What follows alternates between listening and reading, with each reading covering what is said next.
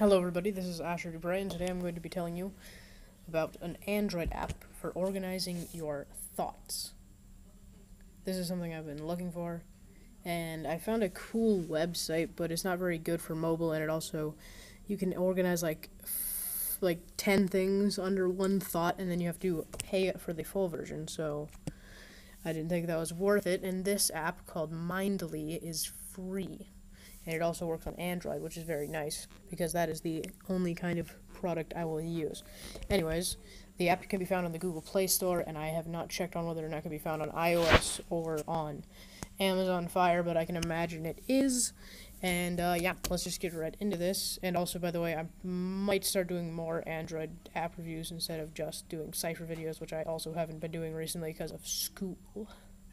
Anyways, um, to start, all you have to do is create a new one. I just created a new one for example purposes.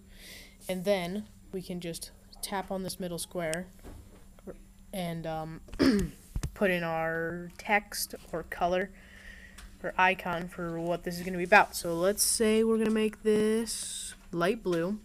And this is going to be thoughts on the sky because it's light blue. Anyways, so then see these these four little uh, pluses that are around it, we can tap one of those and we can create, let's say, clouds. Now, obviously, this is this is meant for organizing thoughts of yours, not really. Uh, so then let's make those look like gray.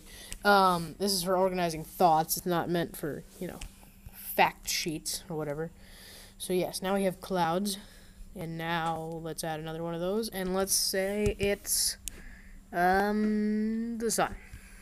And it will be yellow. Boom. Okay, then we can add an icon to these, like clouds. We can tap that. Oh, I think you have to go back here, tap it. Let's see.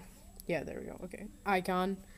And we can give it um, weather and environment, and we can give it a cloud. And we check.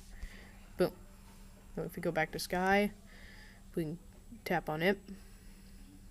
If it'll if it'll tap. Sorry.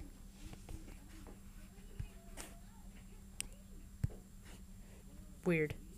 Anyways, um, with sun, we can add a new thought to sun, and we can call it uh, light and we can make it green. Nah, that's not really light. Um, I mean, we can just make it yellow again, I guess. This tannish yellow. Okay, check.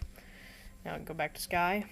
So, in essence, and then to see this three little dots underneath sun means that there's uh, something in it. But in essence, this app just lets you um, organize like anything you want, and it's super helpful because if, for example, you wanted to do a like a speech or something, and you're coming up with your thoughts, you obviously would want to make an outline later. But this just lets you quickly just add some thoughts to it, and then later you can just read them and write from that. So yes, this app is extremely useful, and I've been looking for something like this for a while, and Google Play actually recommended it to me, so it's pretty cool. And uh, yep. So thank you for watching, and I will see you in the next video.